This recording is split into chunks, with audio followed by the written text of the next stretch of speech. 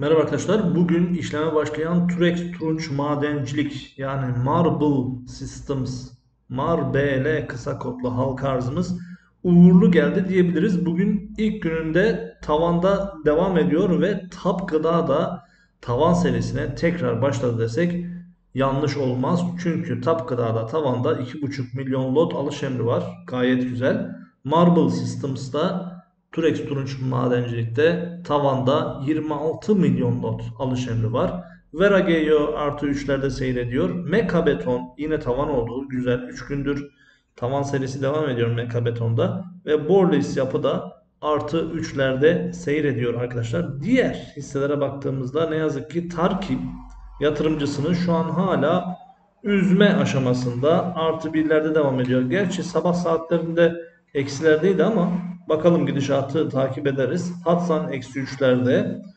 Dofer yapı artı 1'lerde. Borlis otomotiv az önce söylediğimiz gibi artı 3'lerde. Güzel. Mekabeton tavan. Verageo artı 4'lere tırmanmış tekrar. Tap gıda tavan. Marble Systems tavan arkadaşlar.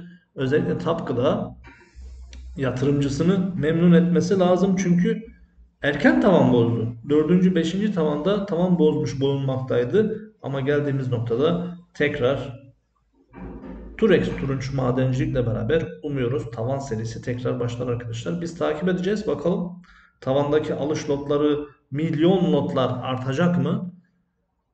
Ve halka hisselerinin tavan serisine yenileri eklenecek mi arkadaşlar? Vera GEO'dan bugün ümitliyiz.